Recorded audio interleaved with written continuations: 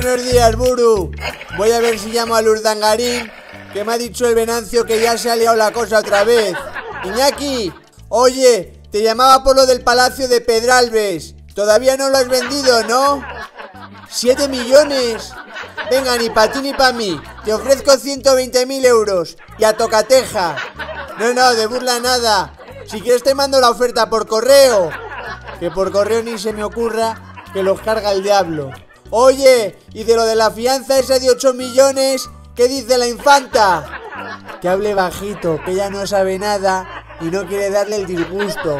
Ya, pero ¿cómo la piensas pagar? ¿Tu socio? Vamos, que has cambiado el balonmano por el tenis.